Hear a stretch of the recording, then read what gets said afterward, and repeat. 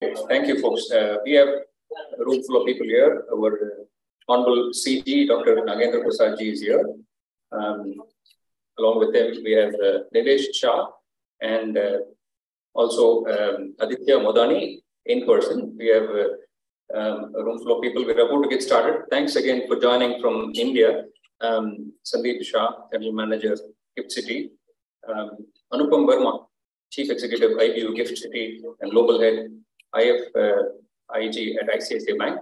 Ashutosh Sharma, General Manager, International Financial Services Center Authority, IFSCA. Suresh Swamy, Partner, PwC, India. And uh, Aditya Modani, who's here, India Tax Desk uh, in US, uh, Ernst Young LLP. Uh, of course, our own Nilesh Shah, Chartered Accountant, he's here, Joint Secretary. We also have Sudha Michael, uh, the Acting Chairman of the San Francisco chapter of the Institute of Chartered Accountants of India. I am Vish Arunachalam, I'm Chartered Accountant, founder chairman of the ICA San Francisco chapter. Folks, we're very excited to have all of you here. Again, one once again, uh, apologies about the technical glitches. We've sorted it out. Uh, people are able to hear from India. Um, so we're very glad to see the CGI support team and uh, our own Dr. TV Dhangadar today. Um, we were shocked to see the um, attacks a couple of days ago. We are very, very glad that they're all safe. We, want to show our uh, solidarity. ICA San Francisco, we work extensively with our CTA's office. So uh, we are very excited about this uh, So we do uh, regular events to the CTA's office. So we're here to talk about the investment opportunities in India. Um, this was uh, originally supposed to have been with uh, Mr. Anurag Jain, Secretary DPIIT, but uh, we had to switch it. This was a planned event actually. This Gift City event was planned originally, and then we switched it to the other event. This was supposed to be put to April, but I'm glad we're able to do it today. Uh, fabulous topic. Um, I was uh, recently in India, uh, late December, early Jan. So I have witnessed myself the transformation that is happening back in India. I was with the uh, folks at Vigyan Bhavan, Vanijya Bhavan, and Udyog Bhavan. I met with the Invest India folks. I met with the head of the Startups uh, India movement, uh, um, Aastha Grover. I met with the CEO of ONDC, uh, Mr. Koshy, uh, quite a few executives, quite a few um, bureaucrats um, who are at the helm back in India. This is something phenomenal that's happening back in India it's a very apt topic for the evening. So uh, without any I want to give a few more very short updates about where we are at ICA San Francisco, and then I'll hand it over to the next uh, speaker. So uh, ICA San Francisco, we uh, when we launched our chapter in 2017, we were the only active chapter in this part of the world. Since then, we've uh, incubated about 16 offices across the country in the USA. Um, and then the next one that's going to be launched is um, the ICA Arizona chapter. It's going to be launched out of New York um, on the 31st of this month. Uh, our ICA president, Mr. Aniket is here in the USA. Um, he will be launching a chapter out of New York. And uh, we have the chief guest as uh, Sri Randhir Jaiswal, the Consul of India, New York. We are proud to say that ICA is there in each of the seven locations where our Indian mission is uh, in the USA. And then um, ICA Seattle chapter is coming. We're launching that in April. They've been approved as a chapter. So they will be the 19th uh, office. Um, I'm sorry, the uh, ninth chapter, eighth being Arizona, ninth is Seattle office. Our vision for ICA USA is we aim to create economic opportunity for every member of the US-based CA workforce. We plan to have at least one ICA office for each of the 50 states in the USA. Uh, we're getting there. We are at 17. Very soon we'll be in 23. Six more offices are coming in the next quarter. So here you see the list of offices. Um, Toronto and Vancouver are the two in uh, Canada, but uh, the rest are all in the USA. The ones in green are the representative offices, which are virtual offices. The ones on the left-hand side, um, Chicago, um, Dallas, Houston, New England, New York, San Francisco, Washington, those are the existing chapters, the seven chapters. Arizona and Seattle will be joining them very soon, and then followed by Ohio. So we have some uh, rep offices coming in Philadelphia and San Diego. Uh, we are growing leaps and bounds in the USA, and uh, I did mention Ohio and Arizona. So uh, with uh, that, the next event, the chapter is in April. Earth Day is being celebrated. Uh, this is the second time, second year, consecutive year, we're working with ACT Foundation. So that is at ICC Community Center in Milpitas. So do join us. Planned uh, for the second consecutive year. So, uh, and I would like to thank all the sponsors in the room. We're going to honor them end of this event. Um, Isel Rampur, Sanjay Gupta, CPA, Ananda Bhavan, APRAP, Ashwal, and Co. Shub, Idea Helix, um, Bhatia and Co, ICC Bank, City National Bank. Very soon, um, we're going to have uh, State Bank of India join us in the next event. I'm sure they're going to be one of our sponsors. With that, I'll hand it over to Nilesh uh, for the evening. Thank you, folks. Thank you, Vish, uh, for a wonderful introduction. Before we start the panel, I would like to invite our Honorable Consul General to make some opening remarks. Uh, good evening and namaskar, everyone. Um, actually, this particular event was to be with uh, uh, Secretary DPIIT, uh, Mr. Anurag Jain. We thought, no, uh, many people here will have several uh, queries on reforms, etc. And we thought of having that particular uh, session here. but I see all the stars here, you know, Anita ji from TiE, and then Nandini, and then we have Ram Reddy and several others now Vyas came all the way from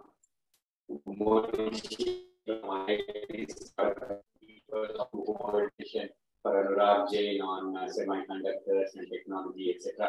Thank you very much for making the uh, time, uh, taking time to come uh, this evening to this occasion, uh, despite the fact that it's the middle of the week and um, an evening.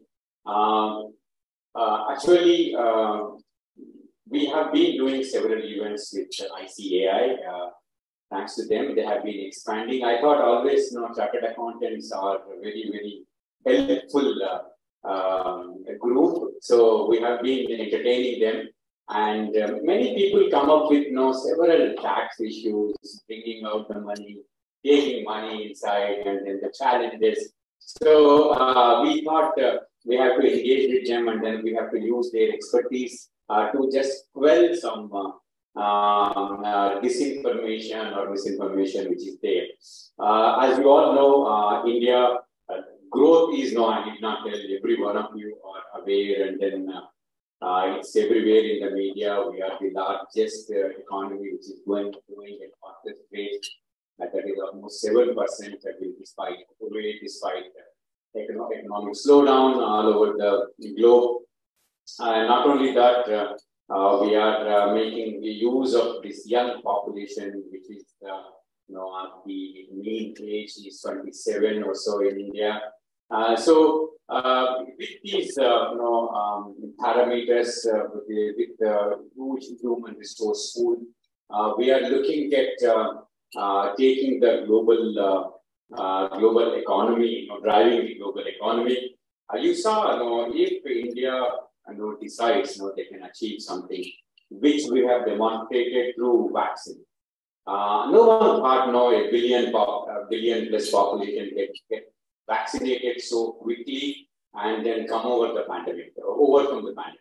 So uh, that is the kind of uh, uh, resolve we have if we think and uh, uh, all the vaccines we produce and I think we are the only country who have exported vaccines to over 100 countries uh, not only exported, we have supplied we also. Um, everyone talks about climate change and energy, and we have seen recently that government of India has come up with an initiative of two billion um, dollars uh, uh, initiative for promoting green hydrogen. Uh, so uh, basically, you know, a lot of R&D. Earlier, we were the, you know, if you take pharmaceuticals, India is known as no good user of generic drugs, not much into R&D, etc. But we are, uh, in the initial period itself, we are coming up with, uh, uh, no R&D and also driving green hydrogen economy. Uh, and I'm happy to mention that not only that incentive, but uh, we came up with several productivity incentive schemes for uh, electronics. You saw that one helping us in uh, getting some iPhones manufactured in India. I think we already manufactured 30% of iPhone 14s, and then we are looking at some more uh, adding capacity in electronics, other electronics also. semiconductors, no, I must say this valley is the, uh, I can say, you know, mother uh, of that particular industry. Uh, I was just reading the Chip Wars no, book. You know, everything happened from this particular uh, valley. So uh, we have taken guidance uh, from the experts in the area. and we have come up with a productivity incentive scheme for semiconductors. Of course, many experts still say that you know only India is ready for design and packaging and testing, etc. Not a fab center. Uh, but you know the kind of infrastructure which is growing. Uh, other day you saw the transport, you know, uh, improvement in transport, road transport particularly. Uh, you have inaugurated the, you know, the big uh, uh, corridors between Bombay, Delhi, and then Chandigarh to other places. So what we are looking at, even railways, you saw the addition of our own indigenously made uh, uh, railway wagons, railway coaches, Vande Mataram Express, etc., which are really going to reduce the time taken by uh, the passengers to travel between the cities, etc. That also, know, uh, we are looking at sustainable uh, transport system all over India. We are looking at uh, EVs, and uh, I don't know, you know, there is a lot of progress. You, know, you can look at uh, scooters or, or the, the cars, etc. It's on increase, but not as much uh, it happens here in North Seattle or uh, California. But we are looking at that. Um, see, the uh, digital economy, I need not tell you, I think we are the leader, I can say, uh, because uh, uh, the last year, whatever digital transactions were conducted, uh, we were the leader number one. Uh, even though we were over China and the USA, uh, we are looking at this, this digital economy to grow to 1 trillion by 2025. No, that is a fast pace. Um, and uh, on the trade and exports, I must tell you, we have hit the record of 400 billion last year. Because of uh, the economy slowdown, etc., we thought this will go down. But I'm happy to share with you in February, uh, we crossed merchandise export 409 billion so we are good at, but no, that has been, uh, we thought of more increase, but that has been made up by services export. There was a significant increase in services export. Uh, so we crossed around 685 billion trade. We are looking at uh, getting to 1 trillion trade uh, in uh, 2025.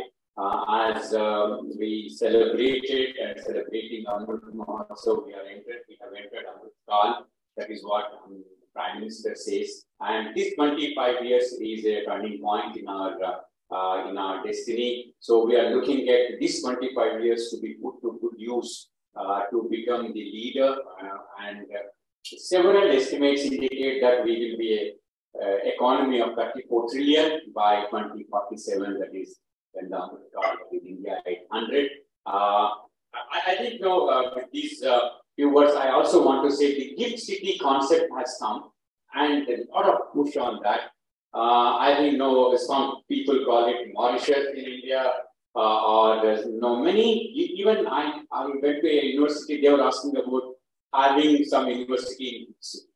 So uh, that is that is so attractive about the taxes or about the infrastructure. You know, you look at the infrastructure, whatever a smart city can provide, uh, it is there.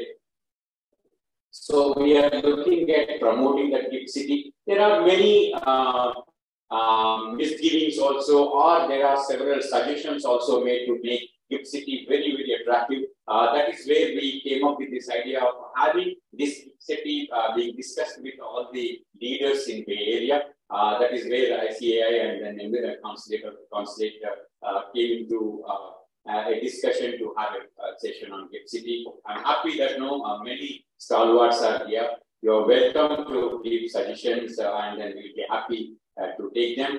Uh, we had uh, some disturbances at uh, consulate. Uh, we have taken up that and it is not the majority, it's a minority. but violence has no place in a democracy. And the uh, state government and then city and at the federal level, we have received a lot of uh, support. Uh, I must say that. And then I received you know, messages from many of you expressing concern. Thank you very much. Uh, we know that uh, you are with us and uh, we only you know here represent India in this country and as they will diplomat us, And then we look forward to your support. of course, no, content of your support. once again, uh, thank you very much for uh, taking time to come this evening and, and uh, I request Vish and Nilesh to take forward to make some interesting comments or you know, to take forward the GIFT City concept in India. Thank you very much once again, Jack. Thank you, Doctor. Thank you, Dr. Prasad, for the wonderful opening remarks. Uh, and uh, on behalf of the San Francisco chapter, we would like to once again express our solidarity uh, and, then we attack the case. Uh, with this, before we start the panel, I will request uh, Mr. Anupam Verma, CEO, IBU City ICICI Bank, to start with the opening remarks. Uh, over to you, Anupam. Anupam, can you hear us? Uh, thank you and good evening to all of you. Am I audible? Yes, you are. Loud and clear. Okay. Uh, thanks a lot. Thanks a lot for the time. Um, what um, I will do is in a couple of slides, broadly talking about two themes. One, uh, what is Gift City and what is the op opportunity for banks in Gift City? So I'm giving the banker's perspective on, on what are the opportunities in terms of uh, different areas. Um, and then, you know, uh, uh, we'll have, uh, you know, a panel discussion um, on on a couple of other uh, more nuanced opportunities. Uh, as you know, just just to um, Karthik can take to the first slide.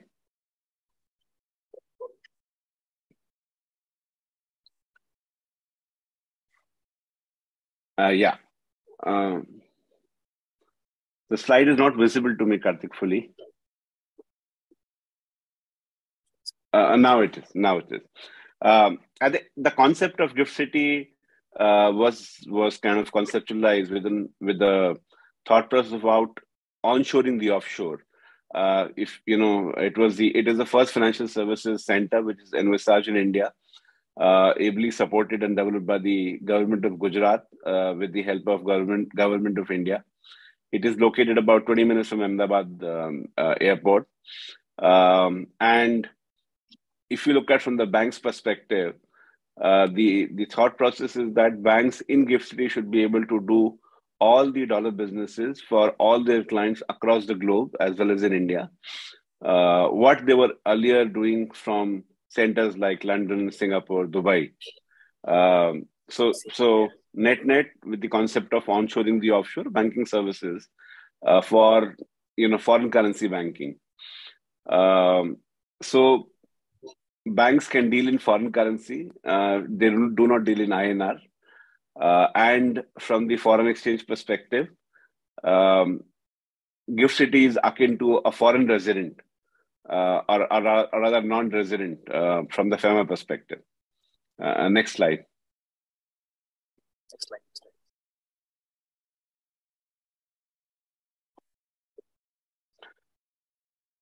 Yeah.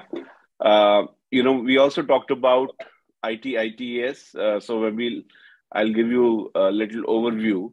Uh, so Gift City is about, you know, it's about 2,400 acre space now, which is divided between the uh, international zone and the domestic zone international zone is like a banking or financial services SEZ, where I mentioned uh, banks can carry out all the international businesses.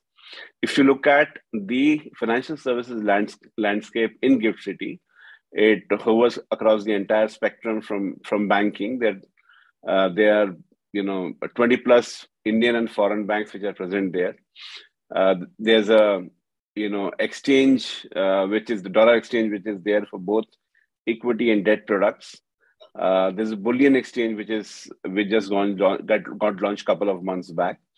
There's an international trade finance platform which is in, in the sandbox stage, where for cross-border trade, um, invoice discounting can be done. There's a very vibrant fintech ecosystem which is getting developed uh, for fintechs to look at areas like cross-border trade, cross-border payments, as well as leveraging Gift City as a as a gateway to India for international fintechs, as well as gateway to the world for Indian fintechs looking at uh, you know accessing the global markets. We have finance companies which are non-banking financial services across asset you know asset financing, whether ship leasing or or um, aircraft uh, uh, funding companies. Or another area which is uh, where you know we had the first uh, company being set up is the dollar financing for students who are going overseas. Uh, another area which is being uh, developed is the global in-house centers, uh, which is the global capability centers of of global MNCs, uh, where US is the biggest, uh, you know, uh, headquarter companies for all, of them to set up their capability centers in India. And Gift cities again coming as a very promising uh, area within that. Insurance and reinsurance for again um, cross-border insurance products being provided by um, Indian insurance companies like ICICI Lombard uh, and, and so on and so forth. Corporate treasury centers where uh, Indian MNCs can look at creating their global treasury centers, which erstwhile have been there in, in London, Singapore, Dubai, for pooling of funds, for investing of funds, uh, for doing the entire risk management and the fundraising. Uh, and if you look at the regulatory landscape, uh, you know, we have a unified regulator, IFSCA, regulating the entire spectrum from banking to all these areas which I mentioned. Uh, like in, in India, we have RBI for banking, IRDA for insurance, SEBI for capital markets, and so on and so forth. In Gift City, we have a unified regulator looking at the entire spectrum. Uh, next slide.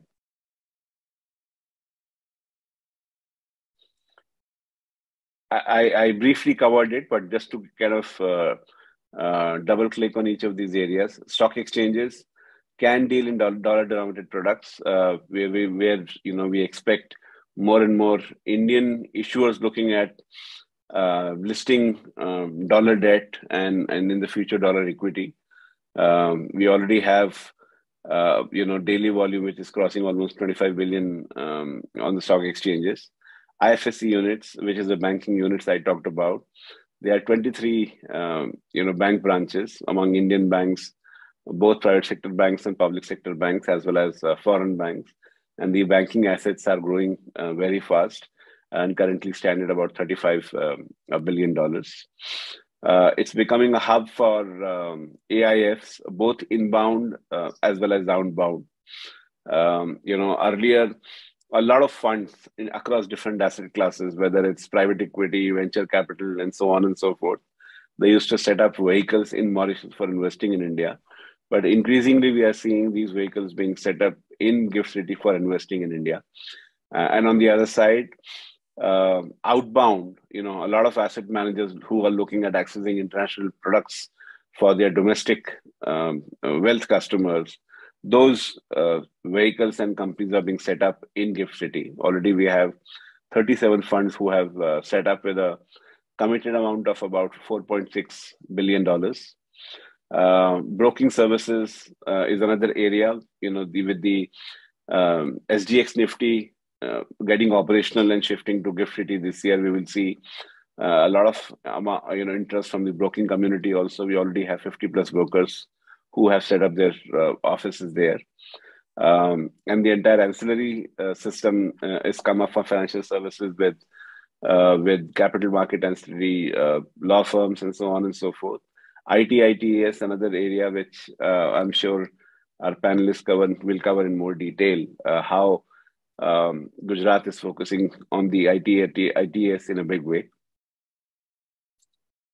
next slide uh, how we are envisaging uh, Gift City, in, and and this is how uh, a lot of other banks are looking at it. I think you know um, it, it's a hub for doing dollar banking for our clients in India, back in India. Uh, you know, uh, corporates, uh, funds, and so on and so forth for their dollar banking, as well as they're overseas entities, and the entities could be based anywhere in the world, but the entire global banking or dollar banking can happen in Gift City.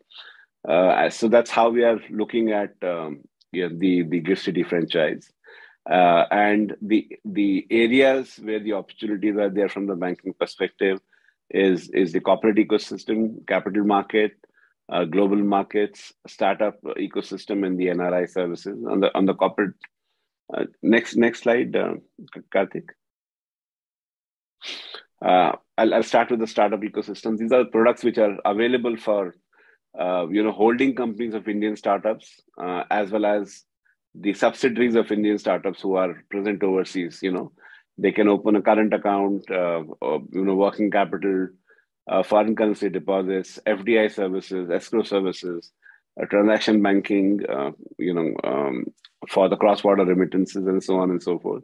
As I mentioned, the the um, holding company or or the subsidiary or the JV of that startup could be anywhere in the world, but entire global banking can happen uh, from Gift City. Uh, next slide.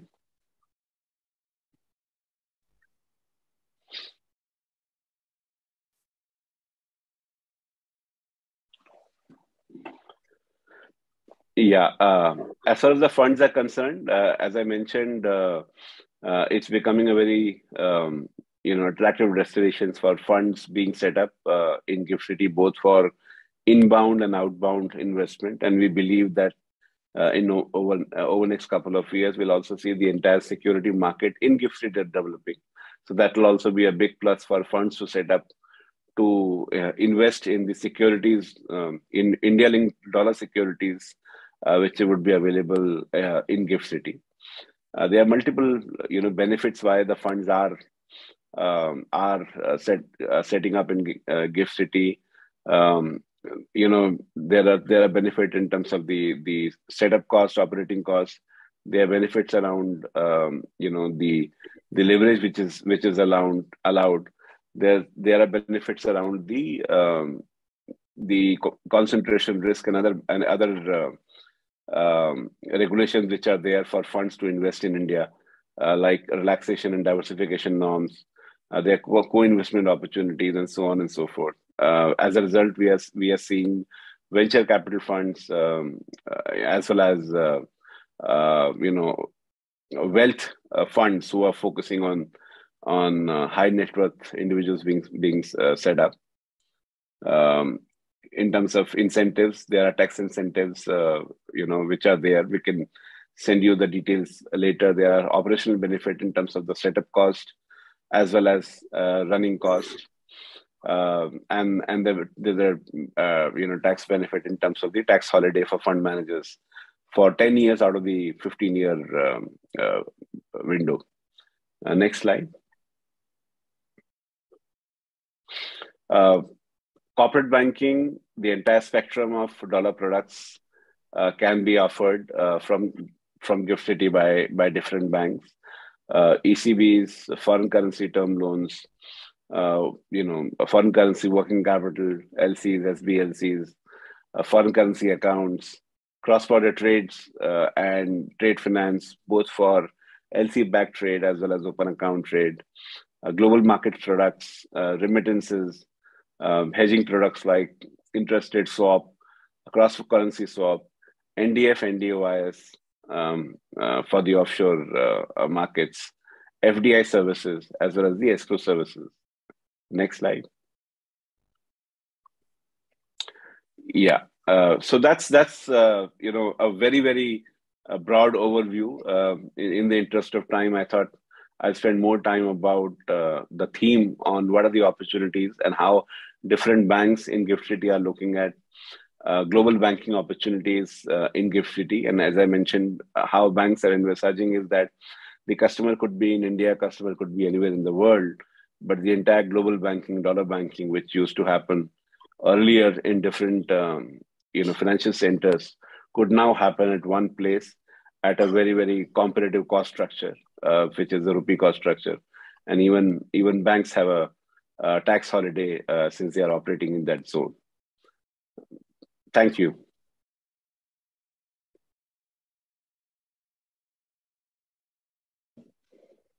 Thank you, Anupam. Uh, I know you're on a holiday and I know you're in London and it's two o'clock there.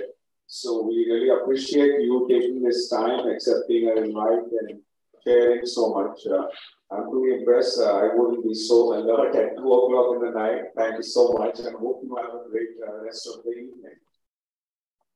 Uh, thank you, thank you. From the audience, uh, we will come back to you and uh, maybe keep it offline on the email if you want to hit the sack. I totally understand at this stage. with this, I jump onto the panel. we, have, we are lucky we have a pack panel today with us.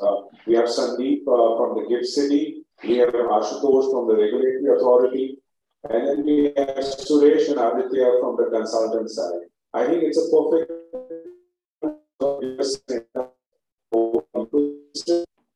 and uh, you know it's going to be uh, interactive. Um, I'm going to put questions to individual panelists, but I request each one of you to share uh, your views uh, for a question, even if it's not posed to you. That way, it will remain uh, completely free flowing.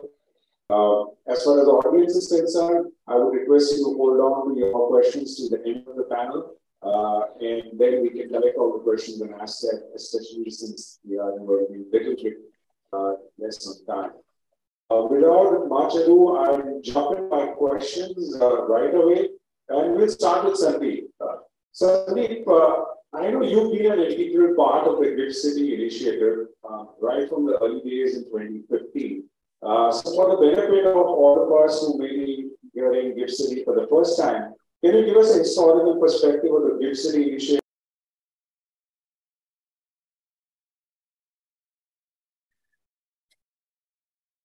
Hi, I'm not sure whether we have been disconnected. Can you hear us? I can hear you, Sandip. Yeah, I think it seems with three are on the screen. I have lost the screen of the venue there. Yeah, me too. Ah, I can see them back in. Yeah. Hi, good mo- good evening. Can you hear us? Mm-hmm.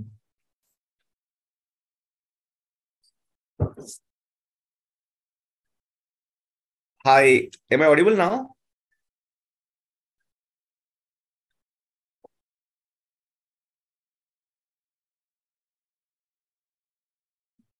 Uh, you, the admin at ICSA, you are on mute right now. Can you hear me? Can you check? Yes, I can hear you, Sandip. Okay, thank you, thank you. Great. I think it's my uh, pleasure to be a part of this uh, uh, event, uh, and uh, you know, I think it's you rightly mentioned. All of you must be reading and hearing about Gift City, and um, must be wondering what's happening you know sometimes news may come about fintech setting up an entity there or sometimes you will see the university setting up in gift city and you may be wondering you know what's what is gift city and how it is coming up so it's let me take a couple of minutes to give you a perspective how it all started and where we are right now in terms of the overall development. Uh, so gift city uh, it's it's a very simple concept and it started with an objective to create global financial and it services hub. What we wanted to do and what is the intention of government of india is to create inbound and outbound gateway for the financial and it services uh, operations. And that's where if you look at uh, the structure of gift city uh, it's a greenfield smart city and when I say Greenfield Smart City, the benefit of developing the smart city was that you know we can actually experiment in terms of the infrastructure facilities that we have created. More from the geographical location perspective, the city is located closer to the Ahmedabad International and Domestic Airport. It's only 20 minutes drive from the uh, the commercial city of the state and it's much closer to the Gandhinagar, which is the capital, uh, state capital uh, of the Gujarat. Uh, it's the city is being developed under thousands acre of land, and uh, uh, idea is to create integrated city development uh, for the financial, which can cater to the financial and IT services operations. If you look at India's demand for the international financial services, and there was a study as well, which says that India actually needs 50 billion dollar of international financial services every year And this number can actually go up to $125 billion if India does not develop the international financial center in, in, in, in, in the country. And I think that was the trigger of, uh, of developing the International Financial Services Center. GIFT, uh, uh, you know, at Gujarat uh, uh, in the year 2015 was notified as the International Financial Services Center. I think this is very important and very interesting, uh, mainly for for NRI community overseas, mainly for the financial services companies operating overseas, because many times what happened whenever you want to access India because of the capital account restrictions of the RBI under the FEMA regulations, it becomes very difficult for you to access open the accounts to invest in India, there are certain, certain restrictions under the foreign exchange management regulations. However, with the growing demand of the financial services activities, it was kind of a need for the country to create kind of an enclave where all such financial services activities, which are in non-rupee nature, which are in dollars in nature, can be provided within the uh, geographical uh, boundary of the country. And that's where the concept of you know ifsc came uh, and 2015 was the year when the international financial center started op- operating. When we were developing ifsc we actually focused on three uh, rather four critical aspects. One was the infrastructure part. I think we what we wanted that when we are trying to attract the global financial players, it is important that the infrastructure facility, facilities that we develop are at par with the other global financial centers. So I think, and and at the same time, we had greenfield project, and we, we we had kind of an opportunity to experiment in in the facilities that we can create. And today, I'm you know we are proud to say that the infrastructure part is something which is the most interesting part and uh, uh, you know people are enjoying and and are having this different experience from the normal cities generally. The second uh, important factor that we kept in mind that the regulation should be also at par with the other leading financial centers. I think the uh, the ease of doing business is very much important in, in, in today's world and I, and the regulations are going to play a very important role mainly in the financial services sector the third part was also on the taxation part. I think uh, while tax incentives are important, but at the same time, it is also important that there is a tax clarity on the businesses that they perform from GIFT. And that's where I think the it, it uh, government of India uh, has provided a very clear tax regime and has very clearly articulated in terms of the applicability of the taxes for various transactions that happens from GIFT City and uh, you know that has provided confidence to the foreign investors today to access the uh, uh, Indian market through the GIFT IFSC. And the fourth and the last, again, very important factor uh, uh, which we kept in mind was the dispute resolution mechanism. Uh, the we have the Office of Singapore International Arbitration Center at GIFT, where the companies can actually use arbitration uh, uh, as a part of the dispute resolution mechanism. So I think if you look at the overall uh, you know journey of last seven to eight eight years, the, the the PCs in terms of infrastructure, in terms of the regulation, tax, the dispute resolution, there those all have been covered very well, and the foundation has been kind of made very strong to now cater to the international financial services activities in the zone. Thank you. Thank you, Sandip. Uh, it's great to hear from your side, given that you've you know, seen the whole journey. And uh, thanks for explaining about the infrastructure and the taxation regime. I'll come back to you with some follow-up questions, but I want to move on to Ashutosh at this stage. Um, Ashutosh, you've been a banker and now you've made a move to the regulatory body. Can you share your perspective and add color to the story that Sandip just gave us as to how, you know, what, what do you think are the main lessons which would be relevant for the Silicon Valley audience uh, from your journey's perspective? Over to you, Ashutosh. And thank you for accepting our invite. Thanks. Um, thanks to ICAI Chapter San Francisco. Thanks to Mr. Prasad. Thanks to ICICI Bank for organizing this.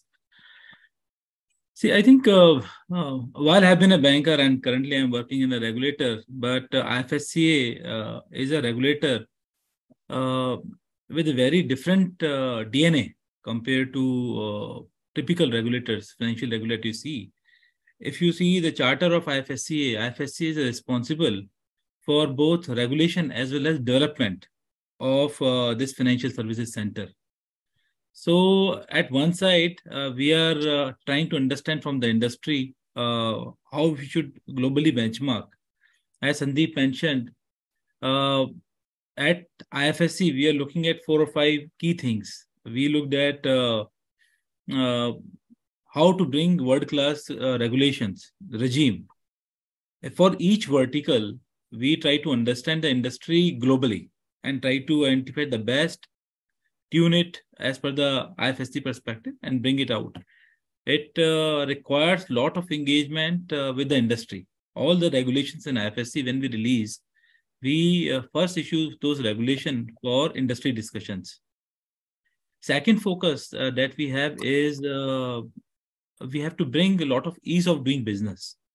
So right away from the way you are uh, sending in applications, handholding before that, to the way once you established understanding from the industry, what else is required to be done to make you successful in IFSC. This is uh, also voluntary domain in IFSCA. At the same time, when you're developing this zone, we are looking at establishing very strong uh, global connects. We are engaging with the association industries as well as the regulator globally. And uh, we have already signed uh, MOUs with the likes of Luxembourg, Sweden, uh, Qatar is work in progress, Singapore, and a lot of these MOUs have been executed, means transactions have been done beyond that. While we are looking at that, uh, I think there are three, uh, three uh, key areas which we are aiming at. As Sandip mentioned and Pam mentioned, we are trying to onshore the offshore. We are saying that we have to bring all the financial services that belong to India which has gone out. We have to bring all of that into India. What it requires is that uh, we have to continuously understand, almost to the extent of being paranoid, to understand what part India is missing out. And it requires a lot of industry analysis and lot of innovation. And I'm thinking innovation when you say, I'm saying innovation, uh, uh, you say financial innovation, you say regulatory innovation, and I say that even if you think that a financial regulator in India is uh, not only enabling the core financial uh, services, but now it is also enabling, for example, as Mr. Prasad mentioned, it's enabling universities in IFSC. So by making it a financial product, we are looking at ship leasing, we are looking at aircraft leasing, we are looking at ancillary services, uh, and we are bringing all of these ecosystem into IFSC. See, while, while we are bringing uh, these ecosystem, there are three main ambition that we intend to do. One certainly is to bring what is rightly India's. And I can see all the CAs in the room.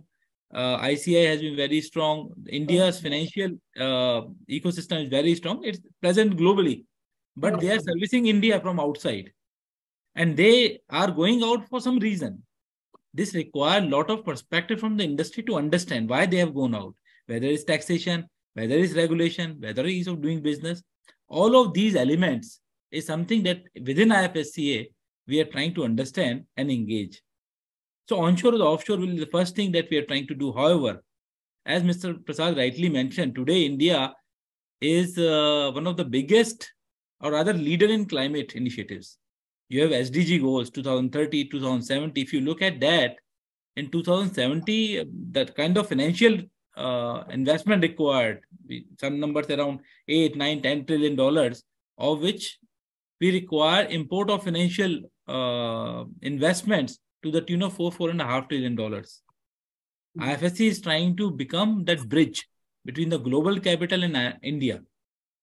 For that, we need to understand the industry dynamics. We have to connect with the investors from the industry. We need to, uh, it requires not only a regulatory rigor, it actually requires a lot of uh, industry rigor you know understand empathize understand both sides of thing and third thing which certainly we intend to do we always say that we are looking at uh, ifsc we are trying to bring industry into india But uh, mark my word, when we look at the regulation, when we look at the taxation regime, we are very conscious that this is a time where India has an opportunity to bring an international financial center.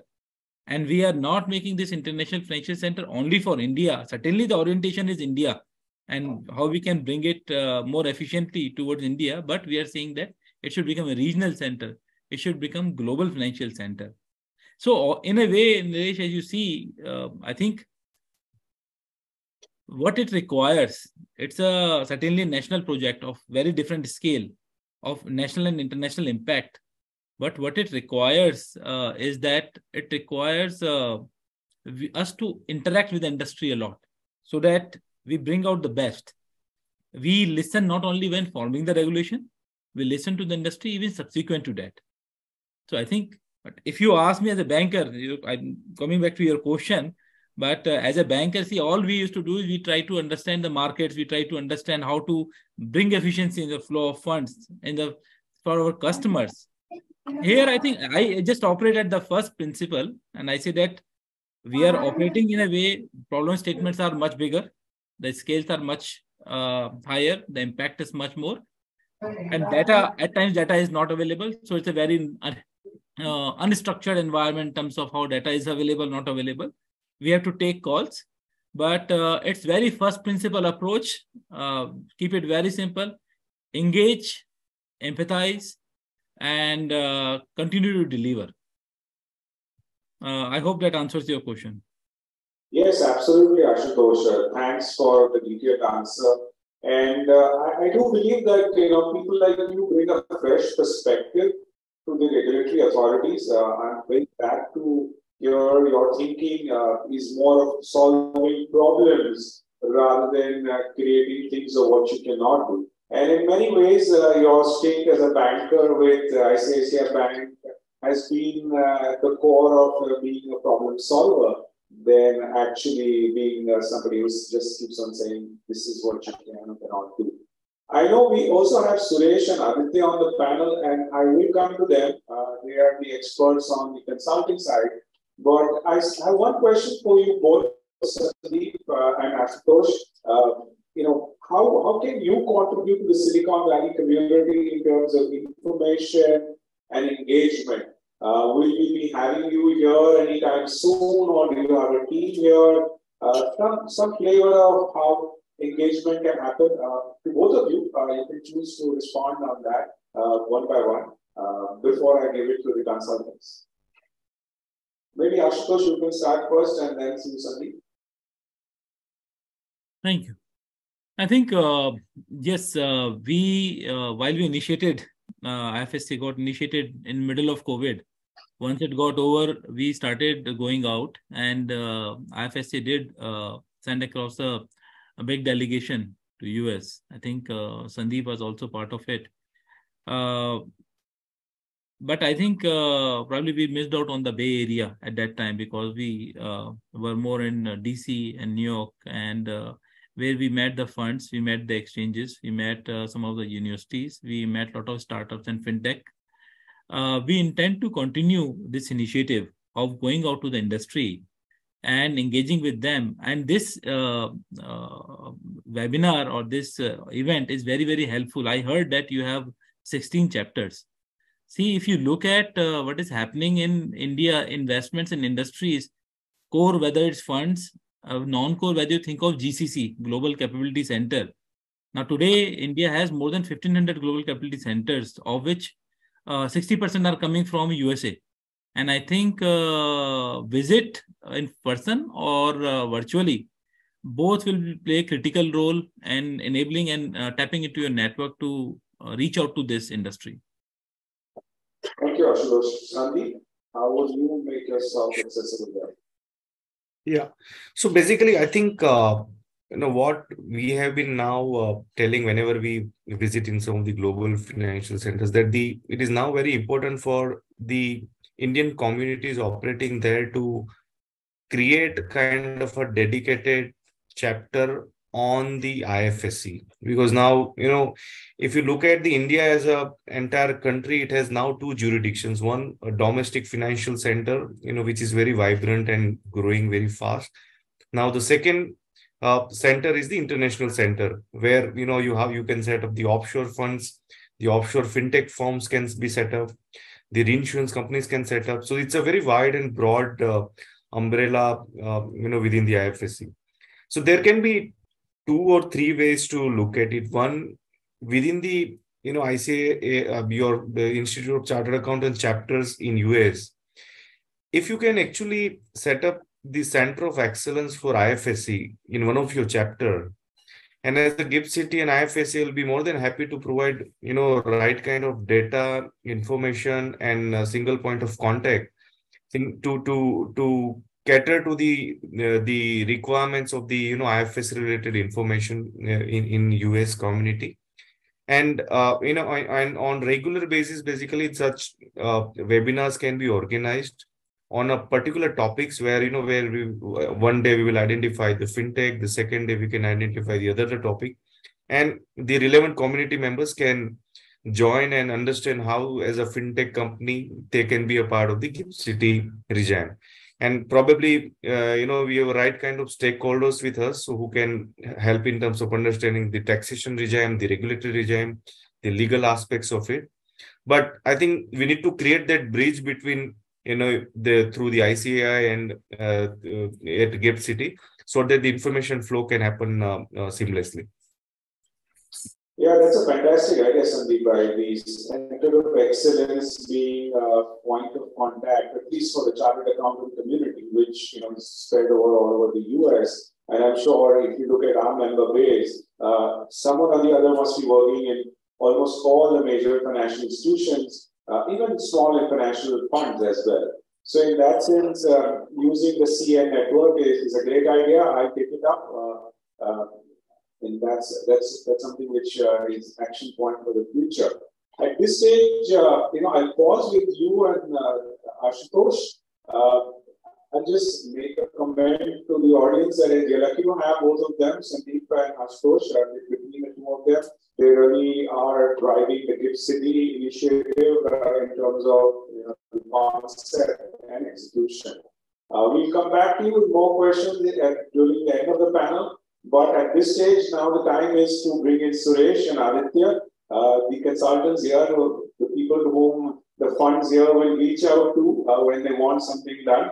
Uh, Suresh, uh, I'll start with you, but Aditya, when you can respond to this question. So, what is the consultant's perspective on leveraging the Gift City initiative? And more specifically, how can venture capital funds based in Silicon Valley utilize the Gift City framework? I know Anupam did talk about a little bit there, but maybe you can talk about you know the go-to-market strategy and the specifics. First you, Suresh, and then you, are.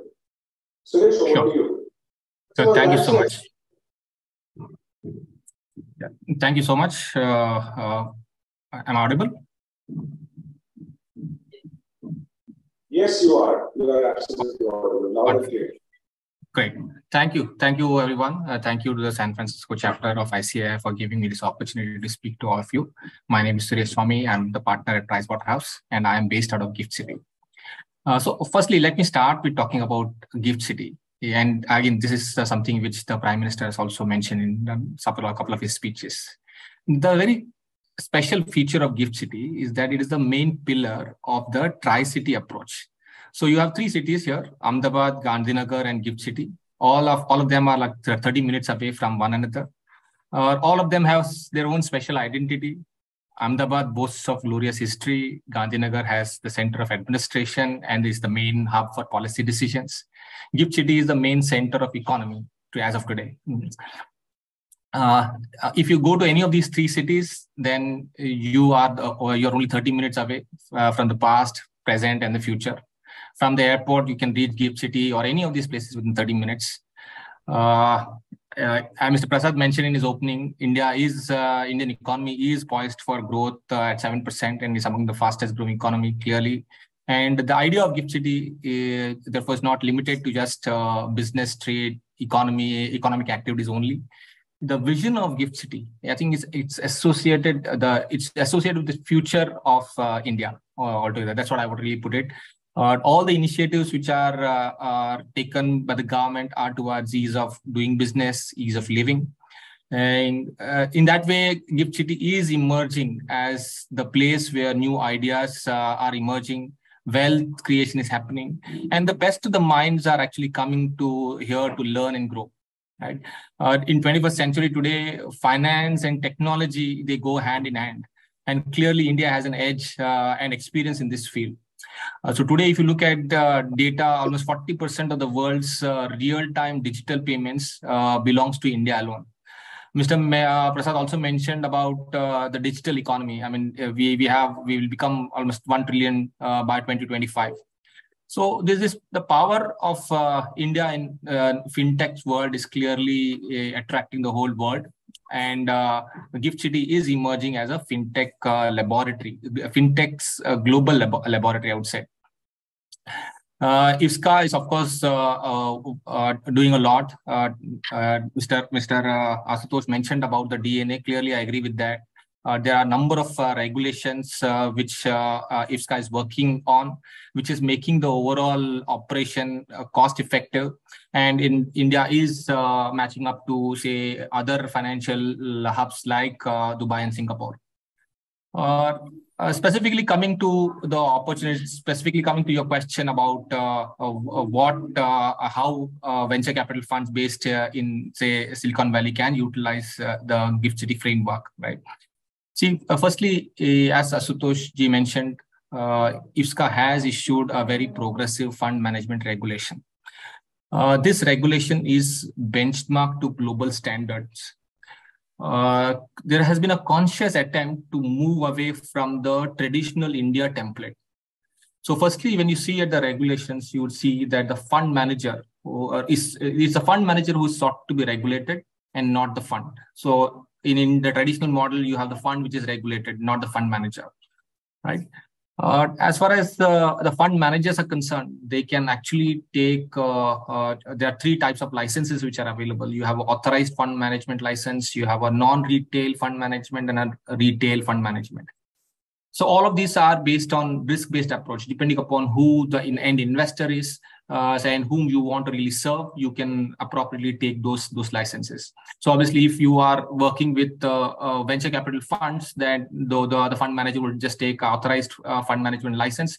But if he's working with uh, or if his investor base is going to be say retail investors, he would take that license. Clearly, the uh, regulations are also light touch. Uh, as an authorized fund manager, you can actually pool money from accredited investors uh, which invest in early startups uh, so our early stage ventures. Uh, it, it, can through it, this investment can happen through venture capital schemes. Uh, venture capital schemes can actually be launched uh, under a green channel. That is that means as soon as you file the scheme with the authority, you it's open for subscription, so you don't need to wait for approvals at all.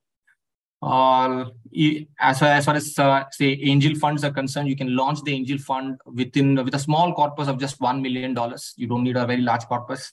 If you're doing a venture capital fund, you just need a five million dollar corpus to to uh, launch it. Uh, regulations uh, also permit uh, that venture capital, capital fund can actually seek leverage. this is very very unique to Gift City. You don't have this concept in the mainland India. Uh, it also permits you to make co-investments through segregated portfolio or through SPVs. Uh, there is a wonderful or a very conducive tax regime, I would say, for specified funds.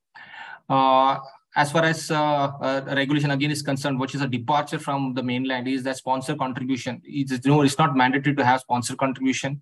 You can actually move away. I mean, if the almost two third, if two third of the investors actually contribute, agree, then the sponsor contribution can actually uh, be waived off. So, so clearly a very good uh, fund regime. Apart from a fund regime, you also have a fintech framework which is available. Uh, the framework uh, is aimed at giving uh, boost to uh, uh, boost boost to establishment of a world-class fintech hub at Gift City. This uh, framework talks about direct authorization of fintechs as well as tech fins. Uh, as far as these entities which are set up here, they can provide the fintech entities. They can, if they are providing solutions which are which results in new business model, say application, process, or products, in in and it has to be in financial services, then they can actually set up. Uh, even TechFins are uh, enabled. If you are an IT company and you are providing services to uh, financial services companies, they can also come and set up a presence. lastly, from a, a professional standpoint, uh, there is an ancillary service framework which is available. Uh, uh, there, these en entities which are set up, say chartered accountants, law firms, uh, uh, management consultants, they all can actually come and set up presence here in Gift City, and uh, they will also be entitled to the 10-year tax holiday. Yeah, so from from that perspective, there is a lot which is on offer, and I think the more we explore this, the more opportunities will really emerge. Thank you. Thank you, Suresh, uh, for this uh, wonderful reply. I really like, uh, you know, the three city description that you gave, you know, the past, the present, and the future. Uh, that's, you know, I think it aptly describes what Gift City is and where it is right now. I also like the fund structure um, uh, explanation that you gave about the various options. Um, I think it merits a workshop session with some of our uh, members who are working with uh, various funds as CFOs and accountants, and we'll take that offline at a separate stage. But I'll pause here and I'll give the opportunity to Aditya to respond as well. Thank you, Aditya, for accepting our invite. Thank you, Nilesh. Uh, thank you, uh, Consul General and uh, ICAI San Francisco chapter, invite and have me there. Uh, I think uh, I completely uh, share my thoughts as Suresh mentioned, and probably would like to add on just a couple of them. Uh, if you look at the way the government of India, as well as uh, government of Gujarat and the regulators are trying to create a conducive environment to enable ease of doing business, to come set up, operate, invest in India. I think that's that is a segue or a gateway to say tax cannot be left far behind. And as Suresh just very briefly alluded, I think there is a very favorable tax regime overall for setups in uh, in the City. And uh, from my perspective, I would say it's just not fintech or FS or financial services is what uh, Gift City is all about you look at the ambit that Gift City is opened up with, uh, you have new emerging areas or segments like uh, Ashutosh and uh, Sandip alluded to very briefly around aircraft leasing, ship leasing, uh, global captives or in-house services. That's a very big segment uh, if you look at it. So uh, it's just not financial services, but these ancillary support and emerging activities are things which is uh, uh, is, is pretty interesting from a Gift City perspective. Thanks. Uh, thanks, Aditya. And as you rightly said, you know, anything uh, tax cannot be behind, and uh, but we are lucky the tax regime is much more positive. I'll jump back uh, to Sandip and Ashutosh. Uh, one of the key concerns that we've heard is, is skill development and talent availability. Um, you know, I am from India, I grew up there, so I can understand what's happening there. But many people here may not know uh, what's the scene about skill development, training, universities, and all of that. So I'd like uh, both of you to take a jab at that. Uh, maybe something you can start, and then Ashutosh on this theme of skill and talent. Sure, thanks. I think uh, you know talent is, as you rightly mentioned, it's very key component basically for financial services center and uh, you know, and that's where government of Gujarat has taken very uh, uh, important step basically to address the talent part in more from a short term, medium term, and long term perspective. What uh, uh, what happened? Uh, you know, a few years back, government of Gujarat has created knowledge corridor, which is just next to the GIFT City, and it houses very well known, well well recognized academic institutes in the stream of engineering, uh, you know, IT, management, law. IIT Gandhinagar is just three kilometers from uh, City. And I'm sure you know I am Ahmedabad is part of uh, the Ahmedabad city. So I think that foundation which has been created more from the academic institutions, uh, you know, that, that is playing very important role to ensure that the right kind of talent, talent required for the IT uh, sector or for the financial sector, those are available in the vicinity of the GIFT City. The second uh, uh, uh, initiative that GIFT City has taken, we have tied up with the academic institutes across India, where we are, we are promoting them to launch the programs or courses on the IFSC related subjects. And, and that's where you know many of these institutes have already started uh, uh, launching their IFSC programs as a part of their existing curriculum, or many of them have also launched IFSC as a separate subject in, in some of their programs. So I think that is also ensuring that the talent coming out from those management schools or from the finance financial domains, they the students will be aware about the emerging areas in the IFSC business activities. And the third, which is a very long-term objective uh, under which we are working right now with the Asian Development Bank, where we are creating International FinTech Institute, uh, which will be housed at GIFT City. It's it's a hundred million dollar project uh, which we are working right now with uh, ADB, and this institute is going to basically house the uh, but uh, the, the, training part of the fintech where uh, it will tie up with the right kind of institutions to provide the fintech related programs uh, with the industry engagements the second pillar that the institute is going to have is the incubation and acceleration. So the you know it will actually promote the startup ecosystem where the accelerators will help them to move to the next level. And the third pillar is on the global research center. So the institute is also going to have a research arm which will also focus on the emerging uh, uh, research on the emerging technologies globally. So I think with these three pieces, we are uh, ensuring that the you know right kind of talent is available for some of these emerging areas that we are developing at GIFT City. Yeah. Thanks. Uh, anything you want to add, Ashutosh? Yeah, I think I just dissect across the industries which are in IFSC. Uh, on one side, you have the core financial industries, you have banks, funds, you have insurance companies. Uh, and if you see Gujarat, I think Gujarat is the second biggest producer of CAs in India. So it's a center of financial uh, service providers. So far, what has been happening is all these service providers were uh, going either to Mumbai for the core financial industry or up north and down south. This uh, uh center is giving the opportunity for all of the Gujarat original resident to come back into the city and then new talent is also available. But the second industry that we are looking at uh, is uh, when you think of, uh, again, when you think of GIFT FSC, the way we are thinking about it is that one is core financial industries. But if you want to develop international financial center, you need to have a much larger city ecosystem. Uh, you know, the kind of infrastructure that you see in Singapore, Hong Kong, and all those big financial centers, which requires a different scale and that is one of the purpose why global capability centers or global in-house centers have been enabled in GIFT IFSC.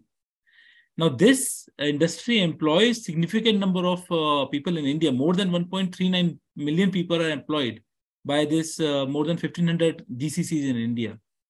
That talent requires a tech talent at the later level, at uh, entry level, if you look at, we studied the industry, we looked at the central belt of India, the western belt of India, Rajasthan, MP, Gujarat, all of them, they have been exporting this talent either to north, south, or out of India. Now, that talent is available at the captive uh, for these uh, technology centers in the city. But lot of IT companies are uh, also available within GIFT City. So, GIFT City has two part domestic zone and IFSC zone. If you look at the domestic zone, it has Bank of Baroda, which has back office, almost 3,000 employees. It has IBM, which is doing AI ML work with more than 300 employees. You have State Bank of India moving the regional center with thousands of employees. I think the talent, uh, probably once we apply ourselves, it's a notion is there, but once we apply and we are engaging with a lot of industry people, we are trying to handhold them. I think uh, talent, someone has to apply themselves, go to the second and third level, uh, my perspective, my experience with Bank of America coming into GIFT FSC with a scope of 800 staff for the GCC, and they have now ramped up to 2,600 people within one and a half year. Even on tech side, I don't see uh, talent a challenge. Yeah, that's that's reassuring to hear the overall perspective. I have some more questions uh, for the panel, but I think I'll pause here and see if anybody in the audience has any questions uh, that we would like to pose to the panel. Anyone? Yes. Yeah, I think there is a question.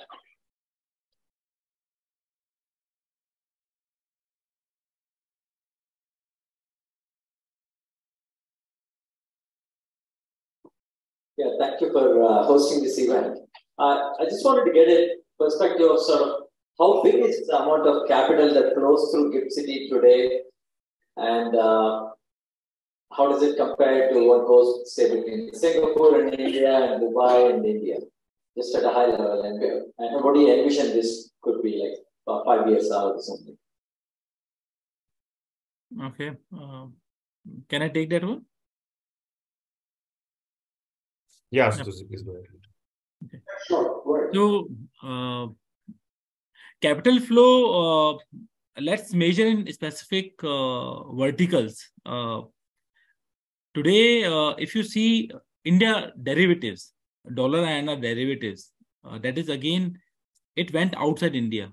It is market volume was almost 60 billion dollars happening daily. It's happening not only in Singapore, but it's happening in London market, is London is the main market, happening in other centers as well. We started this almost one and a half year back. This uh, we still don't have uh, uh, more than uh, four or five banks which are working in this uh, space right now. We have 23 banks, out of which 19 banks are operational. Four or five banks are mainly focusing on dollar INR uh, trades. We have a daily volume of $2 billion out of $60 billion but uh, global banks like JP, Citi, uh, Barclays, they are bringing this markets business into IFSC. But presence and trading in IFSC has already resulted in convergence of onshore and offshore pricing. So that's the volume. If you look at banks within IFSC, today their uh, total assets is in the range of uh, 36 to 38 billion dollars. Uh, this is dated by a quarter. This was 14 billion dollars uh, two years back if you compare India related assets in Dubai uh, is uh, 180 billion dollars. Now all the Indian banks in uh, globally where who have global presence, they have uh, more or less, uh, as per our understanding, has a strategy that they will book all India related business incrementally only from IFSC. If you see some of the MNC bank, MUFG bank is a Japanese bank, uh, it has an India exposure of say around uh, 10 to 12 billion dollars to my understanding. They established in GIFT IFSC in August last year, which is around five, six months back. They have already scaled up their book within IFSC to $2 billion, which or 20% of their global India related balance sheet is within GIFT City. HSBC Bank, which established two years back, their IFSC balance sheet is around $3.5 billion, which they say is around 22 25% of their India balance sheet, which they have established in last 150 years. So these are early shoots, but uh, this tells you the volume, the trading that is happening here, and it's just a start. It's a trajectory, and it's more exponential rather than linear. It's going in that direction. I hope that addresses your question. And just to add to it, um, I think the capital flows through the alternative investment funds is also you know uh, uh, increasing rapidly. And today in so if you if you look at the last 6 months number the funds in gift city have actually got commitment of more than 10 billion dollar for investment in india. And i think you all of you know that india centric funds were generally structured in some of the other centers because of the you know various reasons. Now what we have been seeing the trends that if the objective and intention is to invest in India, now these such offshore funds are structuring their funds in IFSC because it provides the similar regulatory regime, similar taxation regime, and at the same time the cost of operation is one fourth of what they generally incur in some of the other centers. So I think uh, at least we have seen that the India centric funds have now started uh, um, uh, getting structured in GIFT, and also the migration have also started happening. I think it's not only funds, but if you see any industry that has been relying on the DTA shopping in a way, they are getting an opportunity to see a very credible tax regime provided by government of India, and they are shifting uh, across the industry to IFSC. Thank you, Sandip and uh, Uh, I have a question from Monishi. Uh, please start. Okay, I'm not visible from there, so let me get this started. Yeah. Yeah. Okay. Uh, so I'm Manish Sanyal from IIT Madras and I'm the founder of IIT Startups. Now, in Silicon Valley, the key ingredients for a successful startup ecosystem are one, the number of startups, people who are buzzing with ideas, want to do something. Number two is the mentor, accelerator, incubation ecosystem. And the third, most important thing, is risk capital. And I'm talking about risk capital. People like angel financiers and venture capitalists, where one out of 10 or one out of many will succeed. The risks are extremely high, but the returns are extremely high.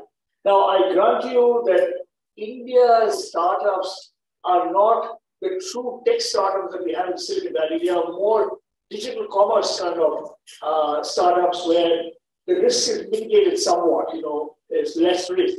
So, what is your ecosystem for venture capitalists and angels in Gujarat? I'm not talking about banks. Banks don't play these risky games.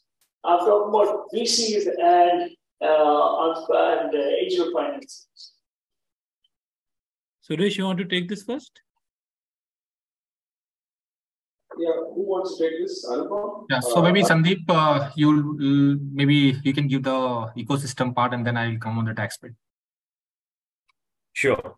No, I think uh, you know you uh, rightly posed the question that it is very important for the venture fund ecosystem. I mean, the, for the startup ecosystem, the availability of the right kind of players from the venture funds to the uh, you know available funding mechanism is very much important. I think a couple of initiatives have been taken to ensure that the uh, startup ecosystem grows from the financial center. Number one the if you look at the fintech framework uh, you know which has been uh, uh, provided by the regulator it talks about uh, not only fintech but also the agri-tech health tech space tech and you know wherever there is a financial services angle it has been captured under the fintech as a framework. And that's where it will ensure that the startups will get a platform to access the international markets through the ifsc framework.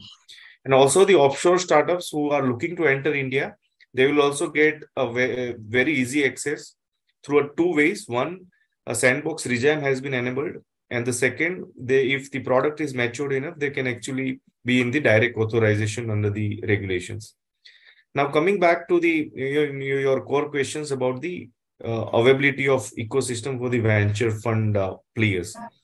So that's where uh, a, a, very recent framework you know which is a very uh, globally benchmark framework fund management entity framework it has now enabled uh, uh, uh, venture funds to be set up in IFSC.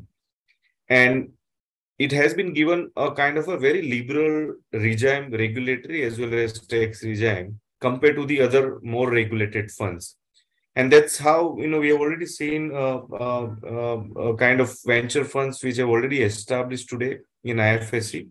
And if you look at the flexibilities which have been given to them, one they can actually easily invest in india basically without any restrictions. They can also invest in the international markets without any restrictions. And top up to it the foreign investors that the venture funds will receive basically the foreign investment that they will receive the foreign investors will not have to register with the income tax authority in india and they will not have to file return in india.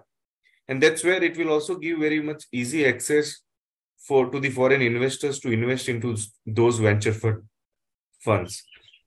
Also, Gujarat government has also set up, you know, the Gujarat Venture Capital Fund. It's a sovereign fund of the state government where the venture fund has been established, which can also be utilized for providing uh, funding to the startups uh, which, which are getting established in GIFT.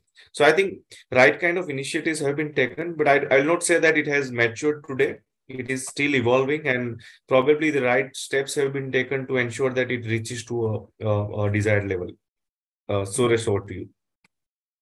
Yeah, th thanks, uh, Sandip. And uh, uh, there is also a fintech university, as as you mentioned, right? Uh, uh, that is also in the process of being set up, uh, which will actually help creation of this talent. Uh, as far as the uh, tax regime, you already touched upon Sandip. As far as the tax regime is concerned, very progressive tax regime, where these entities can actually get a, a pass-through treatment, whereby uh, you're not subject to tax in India. The funds are not subject to tax in India. Uh, you look at the end investor, and based on the end investor's profile, you uh, pay that that amount of tax.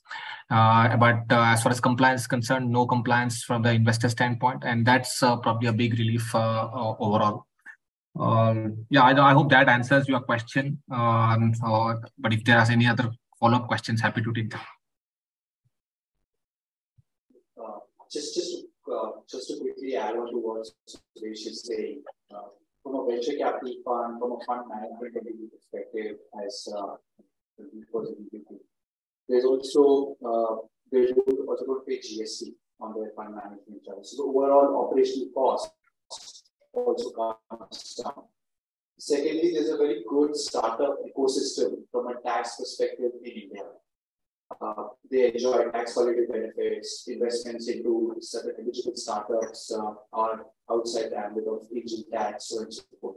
So I think you have, if you look at it more consolidating, uh, City plus the startup tax regime plus the good framework, I think it's it's evolving, it's moving in towards the right direction.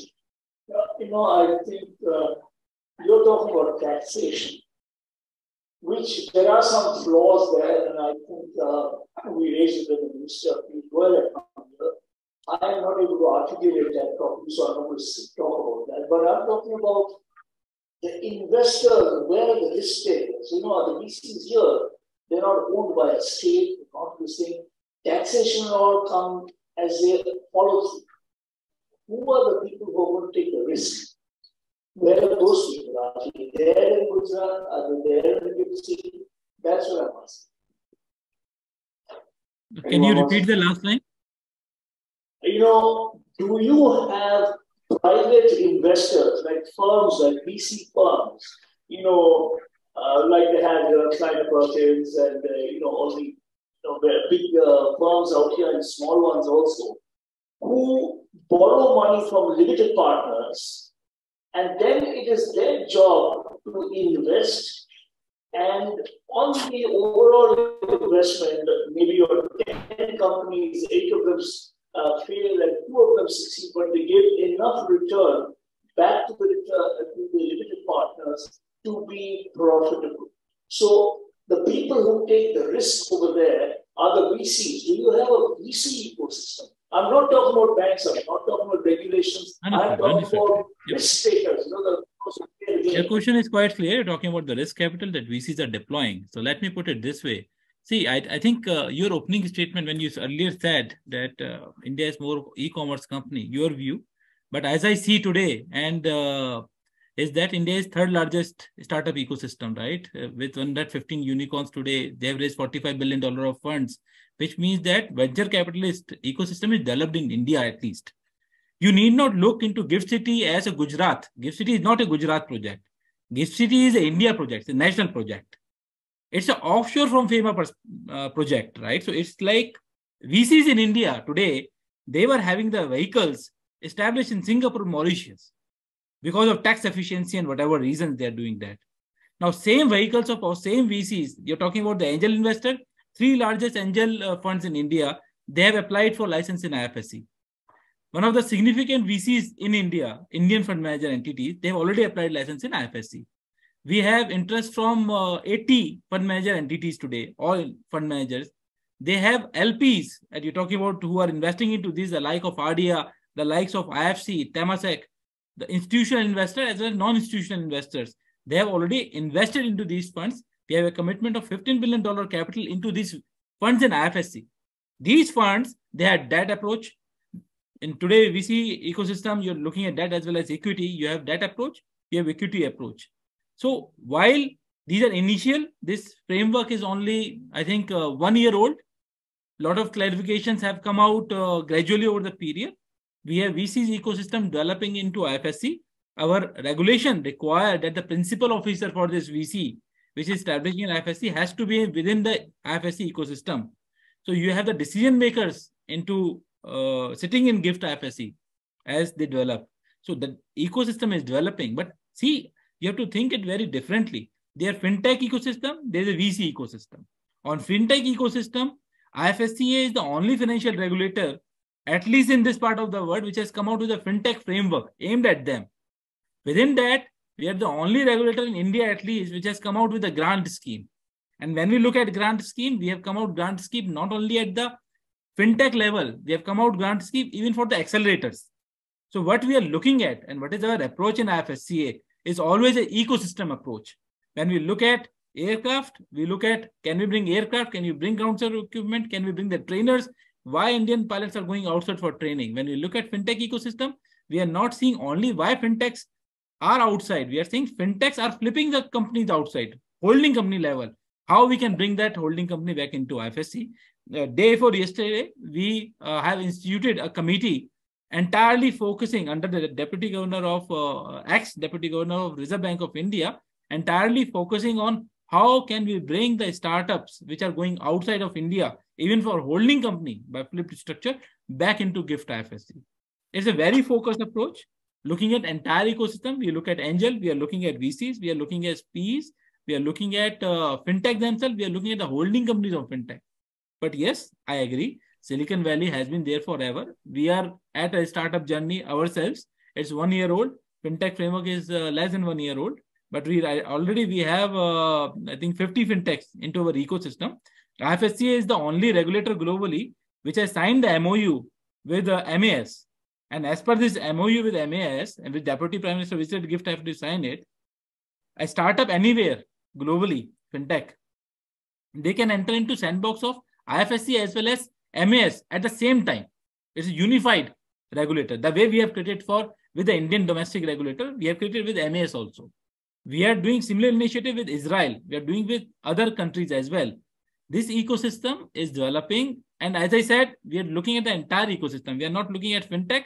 We are also looking at how we can collaborate with the regulators. At the same time, what is required for the VCs to come here.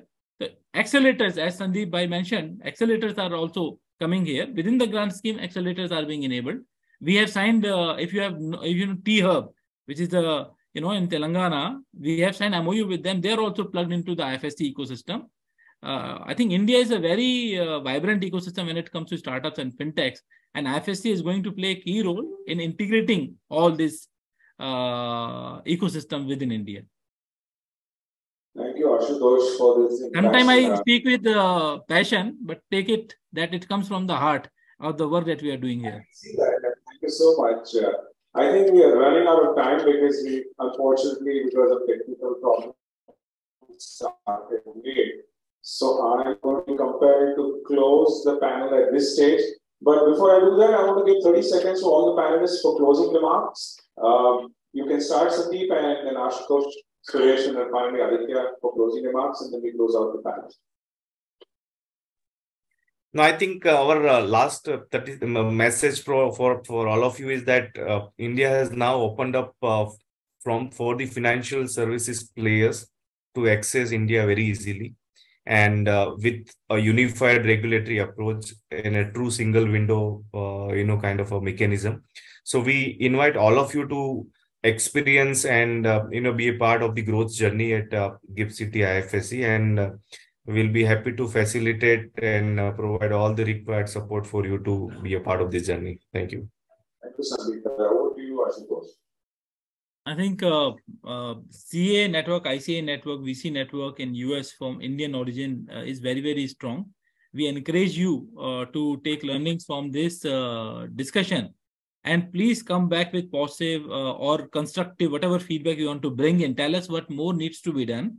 And feel free to engage with the customers your potential clients who want to invest into ifsc and if you have any query you can take our coordinates with the organizers we are very open very collaborative and uh, we will engage you even at the transaction level as well as at the uh, philosophical level or the overall level so i'll leave it at that thank you ashutosh uh, over to you suresh yeah, thanks. Yeah. So I think uh, just one message that uh, whenever you are looking at cross-border flows, uh, you have to uh, now keep uh, uh, keep I, IFSC and Gift City in mind.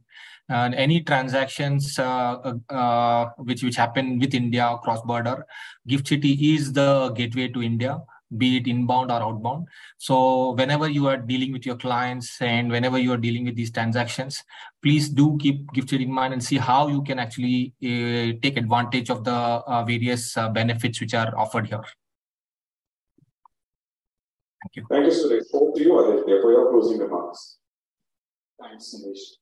I think uh, in a summary, in a quick nutshell, Gift City's framework is now comparable to the likes of Mauritius and Singapore. Uh, I think with the additional advantage of uh, low cost of operations, just sheer uh, abundance of talent in India. I think uh, these, along with the government's approach of four C's, being clear, concise, ensuring competitiveness, and giving certainty. I think this is a, a great move from the government's perspective. Uh, practically speaking, we have seen our clients talk about City in broad three spaces. One is from a financial services perspective. Second is to set up local in-house captive centers.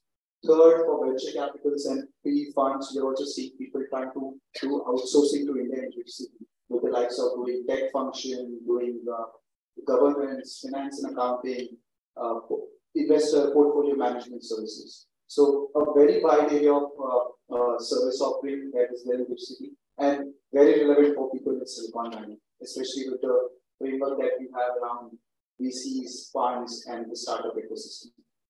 Thank you. Thank you to all the panelists. Uh, I'd like to close out with an open invitation to all of you who are in India. Uh, if you ever happen to be in Silicon Valley, do let us know. Uh, our chapter members will be more than happy to interact with you. And if you're planning an event or a trip here with a focus on promoting Gift City, do give us advance notice. We'd love to, you know, sort of help out in whatever way we can to leverage our network to support, uh, you know, spreading the message. With this, I'll uh, thank all of you in India who've woken up early, and I'll thank all the people here who have, you know, come here and been patient with us. I'd like to request our chairperson, uh, Sudha Michael, to propose a word of thanks at this stage. Sudha, over to you. Thank you, Nilesh. Wow, that was a great, great uh, session. And uh, first, want to thank the CG for bringing it to us and the Institute of Chartered Accountants, San Francisco chapter is very happy to host this. We just realized that this is just the tip of the iceberg. We just uh, heard so much from you about the vision, we heard about uh, the regulations, the oper- operationalization of that, the tax, but so much more to hear and so much more to discuss. And uh, Ashutosh, we do hear your call that uh, the CA chapters uh, here in US and Silicon Valley and the, the ecosystem here um, should be working with you. Uh, we also have the heart and we will do our best uh, to enable that for you and uh, you know we work with you. So uh, we close this. We want to thank all of you here. Uh, you came on a rainy day and uh, you know it was a great session. We finally want to thank all our sponsors. The sponsors of our chapter are the ones that enable us to bring these. So we just want to take uh, two minutes and this is the uh, event where we want to recognize our sponsors. So we want to recognize the ones that are there in this room. We just want to give you a plaque, a token of acknowledgement. So